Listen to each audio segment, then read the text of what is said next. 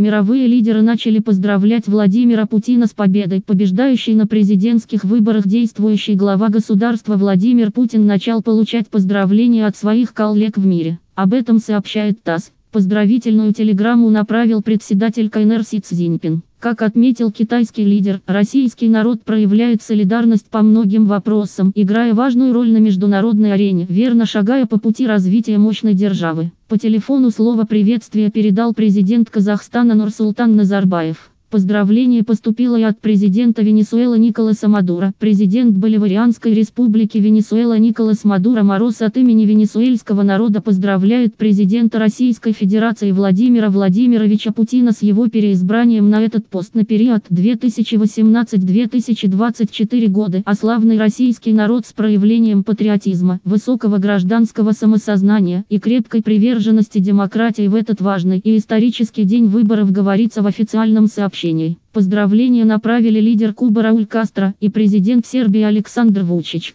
Приветствуем убедительную победу брата, президента России Владимира Путина. Россия уважает достоинство народов и гарантирует геополитический баланс и международный мир перед натиском империализма, написал президент Боливии Эво Моралес. Успехов в работе Владимиру Путину пожелал президент Абхазии Рауль Хаджимба. Эта победа свидетельствует о вашем высоком политическом авторитете и активной поддержке проводимого вами курса, направленного на обеспечение стабильности, законности и правопорядка в стране, осуществление масштабных преобразований, реализацию долгосрочных социальных программ, способствующих повышению благосостояния народа сказано в телеграмме президента Азербайджана Ильхама Алиева. Путин является неприкосновенным политическим лидером русского народа, а также, я бы сказал, неприкосновенным политическим лидером всего свободного мира тех, кто стремится уважать других, заявил президент Республики Сербской в составе Боснии и Герцеговины Милорад Додик. По данным обработки 98-81% протоколов участковых избирательных комиссий Владимир Путин получил на выборах 76-65%, свыше 55 миллионов голосов.